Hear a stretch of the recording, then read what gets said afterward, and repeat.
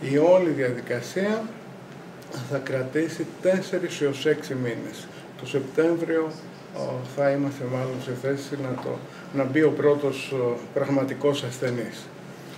Ε, ήταν κάτι που τον προσπαθήσαμε πάρα πολύ από την πρώτη μέρα που ανέλαβα τη διοίκηση. Μάλλον για να κρυβολογώ την πρώτη μέρα που ενημερώθηκα ότι θα είμαι διοικητής, ο Σύλλογος Καρκινοπαθών που είναι εδώ, της, του Εύρω, ε, μου έστειλε μια επιστολή λέγοντας ότι δεν εκπληρεί το νοσοκομείο μας τις ε, προϋποθέσεις για τη δωρεά. Οι προϋποθέσεις ήταν το προσωπικό το οποίο χρειάζεται.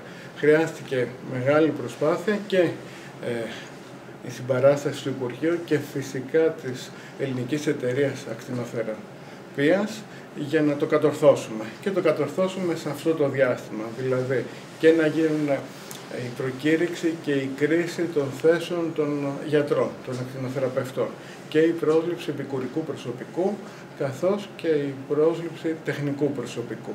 Και έτσι φτάσαμε στο ευχάριστο σημείο να εκπληρούμε πλέον όλους τους όρους της δωρεάς του Νιάρχου και σήμερα να αρχίσει η εργασία. Κάποιοι θα εξυπηρετούνται εδώ με άλλες μεθόδους ακτινοθεραπείας, μικρό ποσοστό. Το μεγαλύτερο ποσοστό πρέπει να πάει στη Θεσσαλονίκη. Έχει γίνει ε, συνεννόηση με τα νοσοκομεία της Θεσσαλονίκης, συγκεκριμένα με το ΑΧΕΠΑ, το οποίο έχει πολύ μικρή σειρά, πολύ μικρότερη από αυτή που είχαμε εμείς εδώ. Ε, τα επίγοντα περιστατικά έχει ληφθεί μέρημνα πώς θα παραπέμπονται για να προηγούνται στη σειρά και επίσης θα βοηθήσει και το 424 Θεραπευτικό Νοσοκομείο που έχει και εκείνο ακτινοθεραπευτικό τμήμα.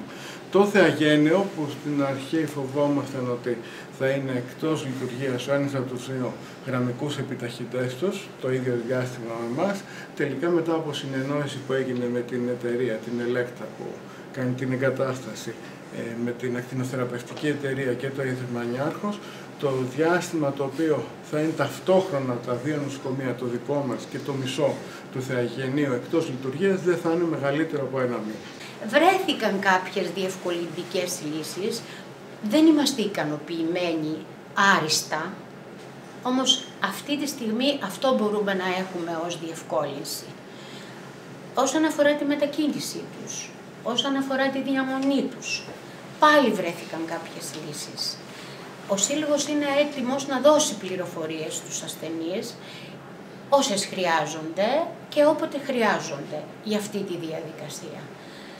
Ε, χρειάζεται να κάνουμε υπομονή για να δούμε έναν ασθενή να μπαίνει σε αυτό το μηχάνημα. Ε, να ρωτήσω λίγο, υπάρχουν κάποιες δομές, δεν χρειάζονται λεπτομέρειες, αλλά υπάρχουν ναι, κάποιες δομές φιλοξενίας. Ναι, υπάρχουν. Γιατί υπάρχουν ξενώνες, υπάρχουν και κάποια ξενοδοχεία τα οποία έρχονται φιλοξενούν και έτσι κι αλλιώς κάποιους ανθρώπους που μετακινούνται στη Θεσσαλονίκη στο χώρο της υγείας και αυτοί, αυτές οι δομές είναι έτοιμες να δεχτούν και τους ασθενείς μας.